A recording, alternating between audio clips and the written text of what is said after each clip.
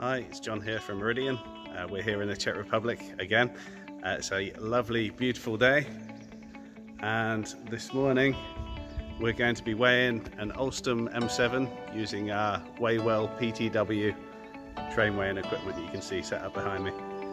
Uh, so I'm just going to go through how we weigh a train. Okay, so here comes our train. Uh, basically, what we do, uh, we use a loco to push uh, push the unit over the load cells we've got set up here. And what we do, we stop the train when the wheels are centered on the load cells. That's in turn linked to our laptop here, uh, which we'll use to generate the report and validate the weight of the unit.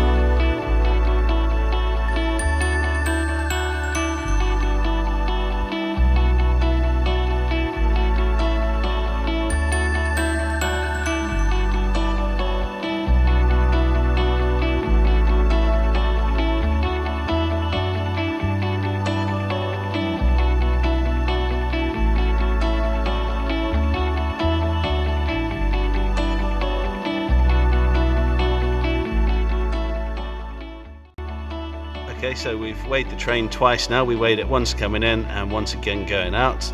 Um, I know you can't see the figures because I've blurred them out because of uh, commercial sensitivity, um, but the Weighwell system generates a nice uh, PDF report for us like this. Um, so all that's left for us to do now is uh, remove the kit and put it away. Okay, so I'm back at the apartment now in Prague, and I just wanted to uh, basically make a quick follow on to the video uh, and explain why we were only weighing a single axle at a time as opposed to the full the full vehicle in one hit. So Meridian do have, you know, we've got eight load cells. We could weigh all four axles at the same time. However, as we're just validating the mass of the vehicle, um, having just loaded the vehicle to VCE or exceptional load condition, um, as long as the balance is within five percent wheel to wheel, uh, that's that that's acceptable.